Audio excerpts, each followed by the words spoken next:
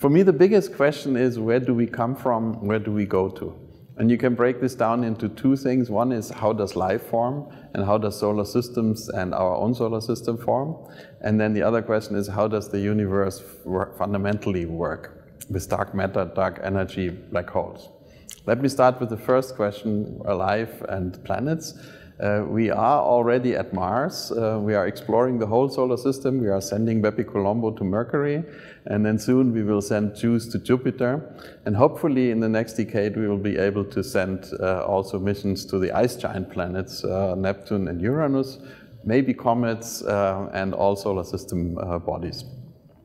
And the other topic is the extrasolar planets. We already know many, many extrasolar planets. Uh, we want to study them in detail, but in particular, we want to detect an Earth-like planet. So we will send Cheops uh, to, into orbit this year, and then the James Webb Space Telescope uh, will be launched soon. Uh, later, Plato, and then Ariel, and so we will have a whole fleet for exoplanet studies. And the holy grail is to discover a truly Earth-like planet and then study that in great detail.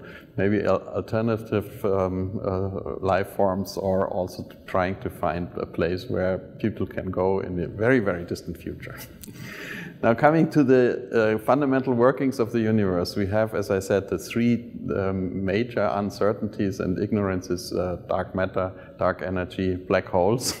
Uh, dark matter we are studying with X-ray uh, observatories um, and also with Gaia, for instance, so Athena uh, and currently XMM Newton, we will learn more about dark matter.